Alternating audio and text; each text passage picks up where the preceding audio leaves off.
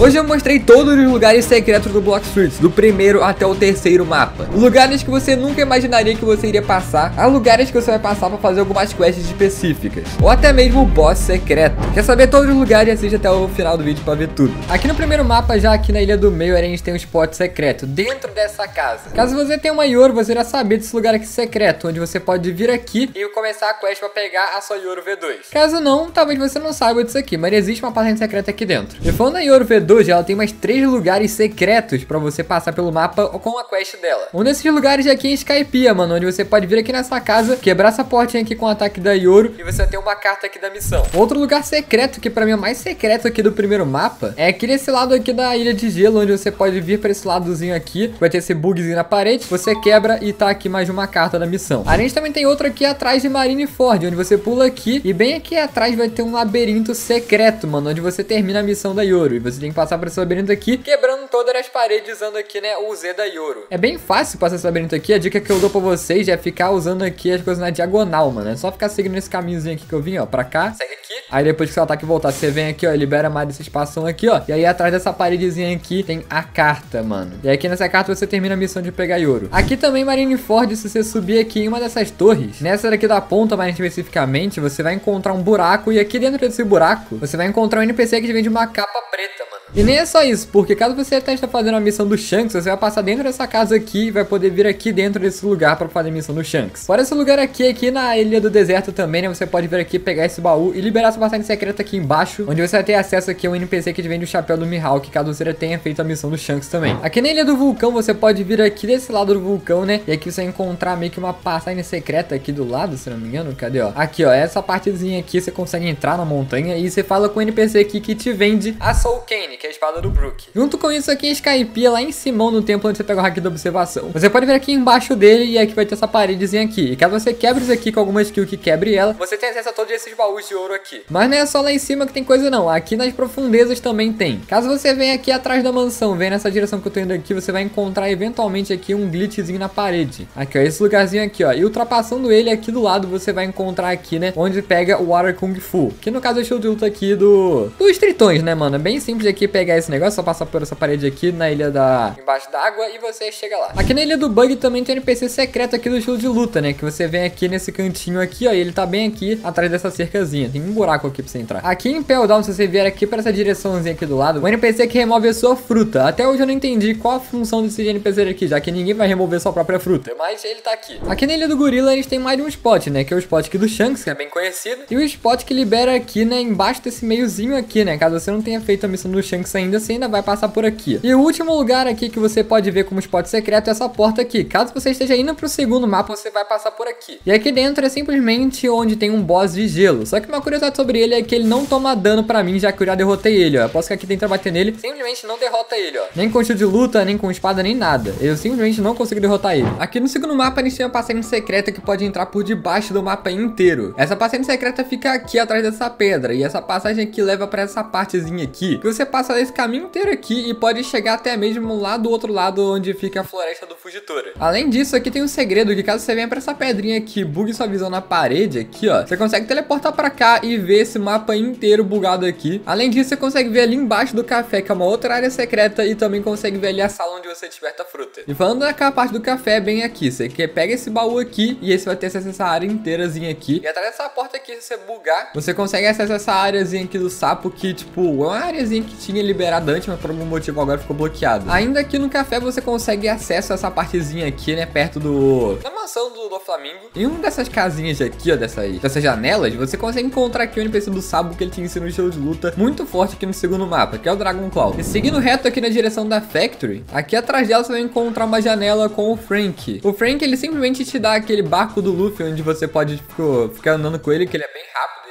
Isso aqui agora não é muito uma parte secreta, é mais um bug. Mas aqui nessa parte do Flamengo aqui embaixo, você consegue entrar nesse lugarzinho aqui. E aqui é meio que um esconderijo secreto pra você ficar andando aqui, você esconder um amigo seu, caso você esteja jogando esconde-esconde no Block Street. Também tem outro que é muito bom aqui também, que você pode ficar aqui em cima. E tem esse bugzinho bem aqui que você pode pular e ficar aqui escondidinho aqui embaixo. Você tem a visão tudo aqui, mas quem olha de fora não consegue te ver. E pra finalizar aqui essa parte, se você vir aqui onde tem essa árvore, atrás dela, bem aqui embaixo, vai ter uma passagem secreta aqui, ó, nesse bugzinho aqui da parede, ó. E aqui é onde você consegue comprar uma spike física por alguns Robux, o que é muito útil pra fazer raid. E você também consegue falar com um carinha aqui que te dá a raça V3, você tem que ter a raça V2 primeiro. Aqui nessa florestazinha onde fica o fugitor, você consegue ver também a saída daquele corredor de água que eu falei pra vocês antes, que é bem ali. E bem aqui atrás dessa árvorezinha aqui, ó, você consegue encontrar um cientista. Esse cientista aqui, ele te libera a missão de pegar a sua raça V2. Aqui na Graveyard você deve ter visto esse capitão aqui em cima, bem em cima da porta onde pega a Yoro branca, né, mano? Mas caso você não tenha gostando mais da Yoro branca e queira de volta a Yoro verde, você pode vir aqui nesse pilar aqui do lado. E aqui em cima vai ter o Hip Indra. E ele troca a cor da sua Yoro de branco para verde ou de verde para branco a hora que você quiser. Aqui no barco mais bugado do Block Street, você consegue vir aqui também e bugar para entrar dentro do barco aqui e ficar aqui numa boa, mano, bem escondidinho. Aqui em Punk Hazard também tem esse segredo. Aqui atrás do castelo onde você enfrenta o Smoke, você pode vir aqui do lado e encontrar meio que uma passagemzinha secreta aqui, ó. E essa passagemzinha secreta você pode comprar um chip. Se eu não me engano, esse é o chip que você usa para derrotar o Lau. E ainda aqui na partezinha de magma, você vier em cima dessa montanha aqui, você encontra uma passagem secreta que é onde você vai para poder enfrentar o Lau. E caso a sua parte não esteja essa partezinha liberada aqui embaixo, é porque você ainda não fez a missão do Cyborg, porque aqui você consegue pegar a raça do Cyborg.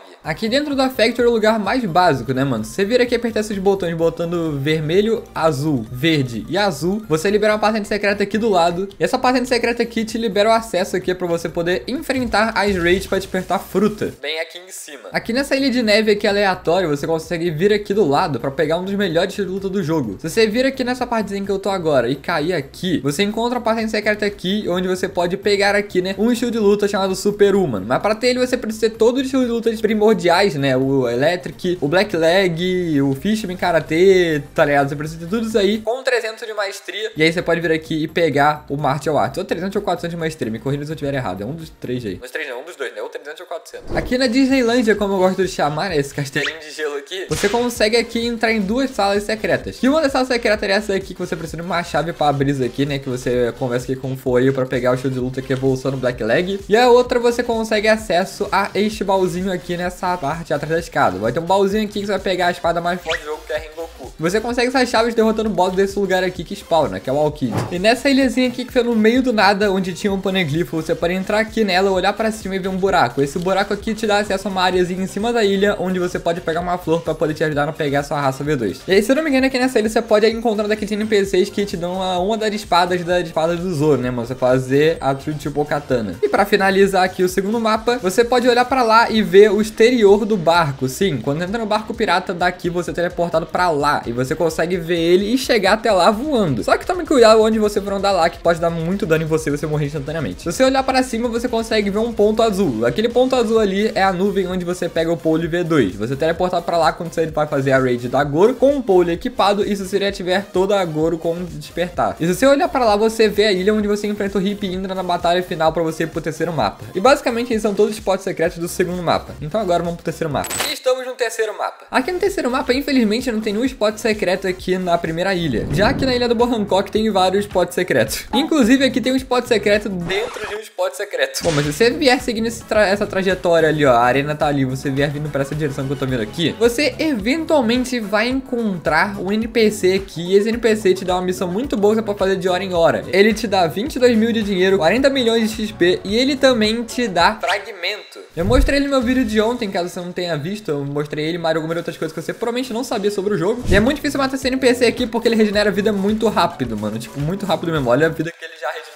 Isso porque eu fiquei muitos segundos sem, tipo, bater nele. Muito poucos segundos. Aí, eu matei ele e aí eu ganhei 200 fragmentos de tudo o resto lá. Aqui na parte da frente da ilha tem uma coisa que eu tenho como um ditado meu. Se eu vejo uma cachoeira em algum jogo, eu quero tentar entrar atrás dela. E, felizmente, aqui você consegue. Se você tiver uma Yoro, alguma espada que você quebrar isso aqui, ou até mesmo letal, você consegue quebrar essa porta aqui, passar por ela e revelar esses vários zumbizinhos aqui, uma espada no centro. Enfim, matando todos esses zumbis aqui, você pode olhar essa espada aqui, que pra mim é uma das melhores espadas do jogo. Mas você consegue ela depois de fazer uma quest muito complexa e demorada, onde tem que matar 30 Enfim, e mesmo aqui dentro você achando que acabou o negócio aqui, não. Porque se você subir essa cachoeirinha aqui, ó, você eventualmente vai encontrar um buraco que você pode passar aqui e aí você vê essa porta aqui. Essa porta que faz parte de uma outra quest secreta aqui, você pegar uma outra espada muito boa. E pra isso você precisa deixar o Hip Indra spawnado, vir aqui, abrir essa porta e aí você começa uma quest em uma outra ilha pra poder pegar a espada. Inclusive essa outra ilha é a Ilha da Tartaruga. Ilha da Tartaruga tem algumas coisas, tipo, por exemplo, aqui atrás desse moinho tem um chapéu com uma estrela. Até hoje não entendi direito aqui pra que que é isso aqui, eu não lembro se é alguma missão. Aqui também a gente tem uma outra missão que você consegue fazer, caso você já tenha feito, tipo, o resto da missão. Você consegue vir aqui nessa paredezinha aqui, e aqui, se não me engano, tem uma parede falsa, que se você quebrar, você passa por ela, isso? É exatamente isso. E aqui no meio vai ter um baúzinho pra você poder pegar aqui. Aqui em cima nessa casa na árvore aqui, a maior casa árvore dessa, dessa ilha, você consegue encontrar NPC que te dá a quest, se não me engano, de pegar o hack colorido, mano. Caso você queira trocar a cor da sua Dragon, você pode vir aqui desse outro lado da ilha, tipo, bem à esquerda do mapa, e vai ter todos os bagulhos você trocar a cor da Dragon bem aqui. Aqui lá na frente da ilha, onde tem essa areazinha aqui cheia dessas casas de laranjas aqui, você consegue encontrar esse NPC aqui em uma delas, e esse NPC te dá o hack da observação V2, mas para isso você precisa ter primeiro o hack da observação V1 no máximo e fazer uma questzinha daquele NPCzinho ali. E bem aqui embaixo você consegue também encontrar o NPC que te dá um dos melhores títulos do jogo, o Electric Clown, que é esse daqui que eu tô usando. E para finalizar essa ilha aqui, aquela parte da quest que eu falei da porta secreta, depois que termina tudo da quest, você libera essa passagem aqui que antes estava fechada, não tem nem como teleportar para trás dela. E aqui dentro você enfrenta o boss do Ryuman, que é um dos bosses mais da hora que eu já vi aqui no jogo. E ele fica aqui dentro e você pode pegar esse baúzinho e também, tipo, enfrentar ele para poder pegar a espada. Aqui em Thriller Bark a gente tem algumas coisas secretas, na verdade. Você pode vir aqui nessa lápide uma vez por noite e girar aqui em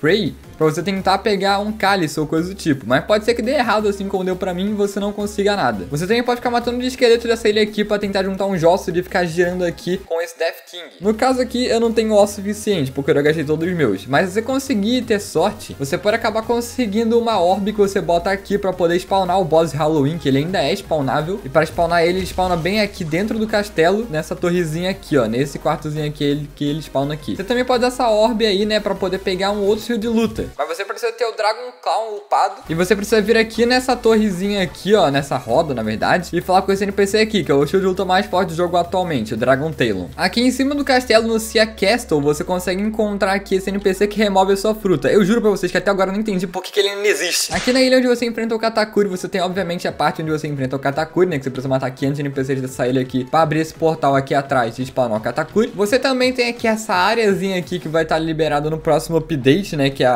áreazinha onde a gente vai conseguir fazer alguma coisa que eu ainda não sei. Tem essa portazinha trancada aqui, ó, e fala ali, ó, come em parte 3, ou seja, vai vir na parte 3. E aqui dentro você vê aqui um Cake Scientist, né? Provavelmente aqui o cara que vai pra gente aqui dar algum bagulho pra gente aí, sei lá, mano, pegar a multi despertado, não sei. Tem esse outro carinha aqui também, né, que fala que vai vir no próximo update. E essa porta aqui que não leva pra lugar nenhum. Mas tirando o Katakuri, a coisa mais útil dessa ilha aqui é você vir aqui atrás do porto, né, mano? Tipo, o porto tá ali, ó, você vem pra cá, contornando aqui, ó, e ali naquele, naquele gramadozinho na frente, você vai encontrar aqui um NPC meio que escondido. E esse NPC aqui que te dá o bagulho pra você poder pegar o chip da Fênix. Mas isso vai te custar caro, meu amigo. Porque esse aqui custa, tipo, 1.500 negocinho, né? 1.500 shards. Ou você também pode pegar aqui por uma fruta de mais de um milhão de dinheiro. Ou um milhão e 500 mil, não lembro certo. Mas é bem caro. E, enfim, rapaziada, basicamente isso aqui é o vídeo. Mostrei todos os potes secretos do Blox Fruit. Espero que vocês tenham gostado. Se gostaram, deixa o like, se inscreve e falou!